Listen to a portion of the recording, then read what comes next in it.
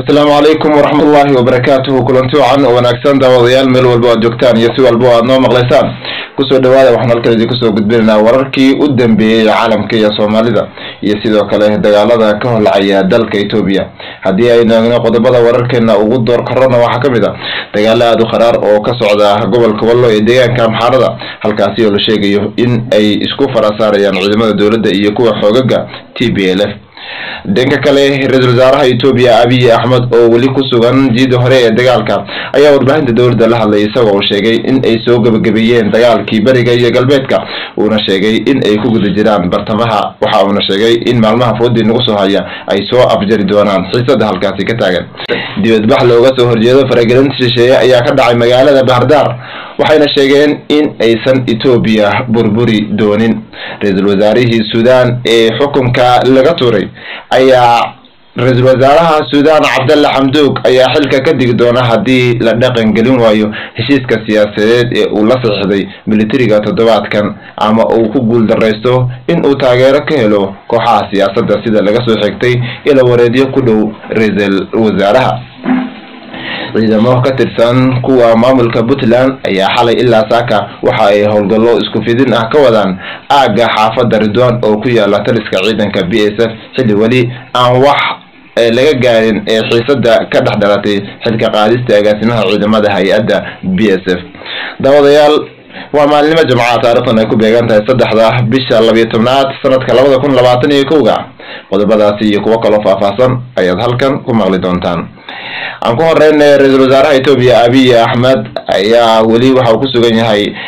furintii saddexaad ee dagaalka. Waxauna sheegay inay goordhow soo gabagamin doonaan dagaalka. Abiy axmed markan waxa uu si gooniya ula hadlay ciidamada etoobiya ee uu hogaaminayo isaga oo kula dardaarmay sidii loo sii wadi lahaa halganka lagu ciribtirayo kooxda. Tbl waxa uuna yidhi guusha ay etoobiya gaadhay waa mid lagu faano. Ma dhicin marnaba in laga guulaysto etoobiya waana guulaysanaynaa mar walba.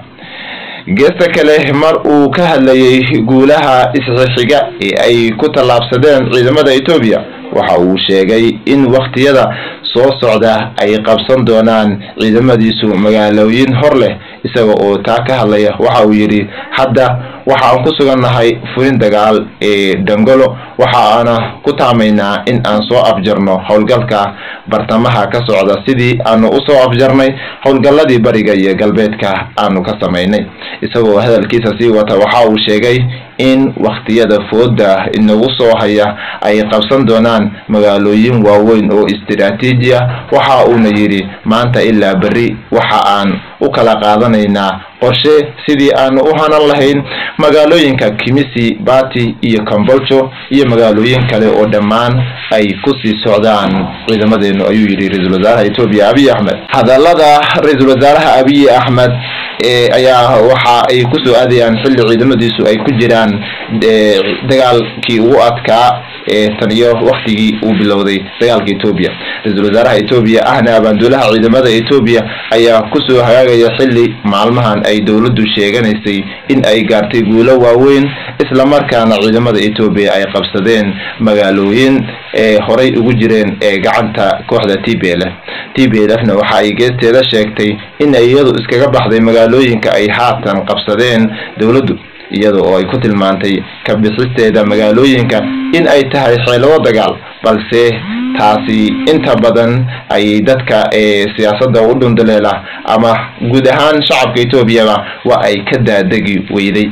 Isku soo wada duuduubo dagaaladii muddada dheera ka socday etoobiya ee u dhexeeyay dowladda iyo kooxda t b l ayaad moodaa in uu weji kala yeeshay iyada oo dowladdu ay guulo isxiga ay sheeganayso halka ay t b l f na guuxeedii ka gaabisay dhanka kale caasimada deegaanka amxaarada ee bahardar ayaa waxaa ka socda dibadbax ballaaran oo ay halkaasi ka sameynayaan shacabka ku dhaqan magaaladaasi. Waxa ayna ku taageerayaan ciidamada dowladda ee dagaal kula jira kooxda t b l f iyaga oo sidoo kale mudaharaadka kaga soo horjeeda faragelinta shisheeye ee ay beesha caalamku ka wada ugu horreeya maraykanka dowladda etoobiya waxayna sheegeen in aysan etoobiya burburi doonin. Haddii aynu eegno hodhanka iyo suudaan ra'iisul wasaaraha suudaan cabdalla xamduug ayaa xilka ka degi doona baa layidhi haddii la dhaqan gelin waayo heshiiskii siyaasadeed ee uu la sixiday militariga toddobaadkan ama uu ku guuldaraysto in uu taageero ka helo kooxaha siyaasadda sida laga soo xigtay ila wareedyo ku dhow dhow ra'iisul wasaaraha. Xamduug ayaa laga sii daayay guri xabsi guri waxaana dib loogu soo celiyey shaqadii ra'iisul wasaarenimo. Kadib markii ay heshiis gaadheen xubnaha rayidka ee uu hogaaminayo iyo militariga suudaan bishii november. Waxaana xamduug uu xirnaa muddo afar toddobaad. Ah la wareegista xukunka ee ra'iisul wasaare xamduug oo ku timid heshiis awood qeybsi sannadkii labada kun iyo sagaal iyo tobanka kaasi oo u dhexeeyay militariga iyo kooxaha siyaasadeed ee ku lugta lahaa ridistiisa hogaamiyihii hore ee cumar al-bashiir kooxahaasi ayaa diiday heshiiskan cusub. Sidoo kale waxa ay diideen xoogaga ee iska caabin ah oo abaabulan oo olole mudaharaad ee wada mudaharaadyadii u dambeeyey ayaa talaadadii tobanaan kun oo qof iskugu soo baxeen bartamaha magaalada khartuum iyaga oo halkudhagoodu ahaa lama wadaagi karo xukunka gorgortan iyo tanasul lama jiraan. Mudaharaadyaddan ayaa ku sii ayaa sii socon doona si la mid ah ee kii lagu riday xukunkii dheeraa ee cumar al-bashiir iyaga oo sheegay in uu u xaglinayo militariga shacabka suudaan. Ayaana ka soo horjeeda in uu xukunka la wareego mar kale militariga waxa ayna codsanayaan in xukunka lagu celiyo gacanta rayidka ah dhanka kale ciidamada ka tirsan kuwa maamulka puntland oo xalay ilaa iyo saaka ay howlgallo isku fidin ah ka wadaan aagga xaafadda ridwan oo ku yaalo taliska ciidanka b s f. Xilli wax xal ah aan laga gaarin xiisadii halkaasi ka taagneyd shalay guddiga amniga gobolka bari shir ay yeesheen ayay ku go'aamiyeen in la sameeyo howlgallo ciidan. Waxa waxaana taasi ka dhalan karta baa layidhi in ay dagaalamaan ciidamada puntland iyo kuwa b s f ta dadka ku nool xaafadda ridwan ee magaalada boosaaso ayaa waxa ay warbaahinta u sheegeen in ay dareemayaan cabsi iyo culeys ciidan iyada oo ay jirtay dad goor sii horeysay ka barakacay waxaana ciidamada b s f ay ku jiraan aagagooda difaaca. Maalmihii la soo dhaafay ayaa waxaa socday dadaalo ay wadeen ee isimada gobolka bari